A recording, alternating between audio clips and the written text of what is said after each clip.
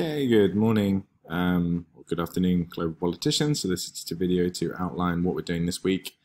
Um, so this week we're looking at pathways towards development still for our learner outcome. Um, first of all, we're going to evaluate some visions of the world after COVID-19. Um, then we're going to define some key terms connected with economic development and then we're going to try to sort of create and evaluate the best approach for developing the economy. Um, so lots and lots of key concepts this week, trade, liberalization, export, orientation, commodity-led growth, tourism, entrepreneurship, knowledge economy, circular economy, complementary currencies, and then finally liberalism and neo-Marxism. So first of all, um, I've posted an article on Google Classroom, predictions for a post-COVID-19 world. So we looked at sort of one prediction last week about how it's not really going to change the global order. These are 12 experts that have been asked, what do they think the world's going to be like? It's not a long article. Read the article. Which prediction or analysis do you agree with most and why? Um, and what do you think the world will look like after COVID-19? How will the world change? How will the uh, world order change? How will our lives change? How will economies change? Um, you know, give us your thoughts because no one knows at the moment. Um, so number two, key terms and approaches to developing the economy. So you have Google Doc, which looks like this. Um, and very simply, all you need to do is, for step one, you need to read, uh, read pages 132 to 135 of the Max Kirsch Global Politics um, course companion, which I've uploaded to Google Classroom. Make brief notes in your own words. Don't just copy directly what they say on these key concepts. Um, please note this is the PDF number at the top, not the page number at the bottom. Um, please note for commodity-led growth and complementary currencies, they're not in this extract, so you'll need to research them yourself. It's very easy to research. They're not difficult to, it's not difficult to find a definition. Um, next, you're going to read liberalization and development strategies, um, which again is attached to Google Classroom, and make notes on the following. Um, give a brief overview on the information it gives on liberalization uh, theories and development, some of the strategies and models for development that are linked with liberalism, and how successful have these been. And then you're going to do the same. You're going to read neo-Marxism and development strategies and do exactly the same for that. I know it's a lot of reading, a lot of note taking. It's not the most, um, you know, it's not the most fun activity, but it has to be done.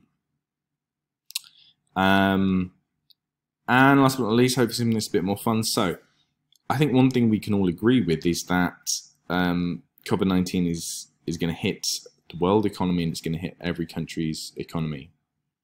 So let's imagine you're the president of Indonesia. You have to revive the economy the COVID-19 pandemic is over. You know, we're assuming that a cure has been found, so we don't have the idea of, um, you know, social isolation happening. So it's been cured, but the Indonesian economy is a mess. So how are you going to develop the Indonesian economy? So first of all, choose a model of development. Um, you know, we looked at modernization theory, dependency theory, neoliberalist theory, Washington consensus theory can be another model that you came across in your reading on liberalism and neo-Marxism. So what model are you going to follow? Next, you have to choose at least three of the con key concepts and approaches to developing the economy, for example, trade liberalization, and explain the practical steps um, that you would take to develop the Indonesian economy. You know, you have to be realistic. You can't say, well, I would um, you know, raise tax rates levels to 80%, you know, it has to be something that is, is fairly realistic and plausible. And so when you come up with an outline, an idea of how you would develop the Indonesian economy, have to record a video response. It has to be a video. You know, let's see your faces. Don't be shy. Um, to this Flipgrid. And this, again, the link is on Google Classroom. It's also on the Google Docs. You have five minutes, so the video will shut off after five minutes. So you have five minutes to outline your model for reviving the Indonesian economy.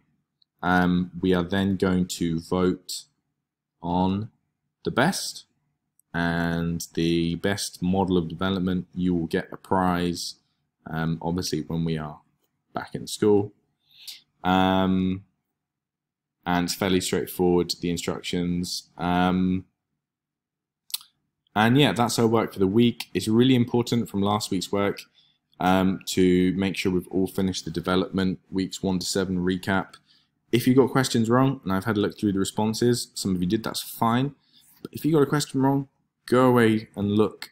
Um, and so at least you understand why you got it wrong and what the right answer is. It's really important. It wasn't a test, it was a review. So if there were things you didn't understand, have to go away and look at them because we're going to be moving on and moving on.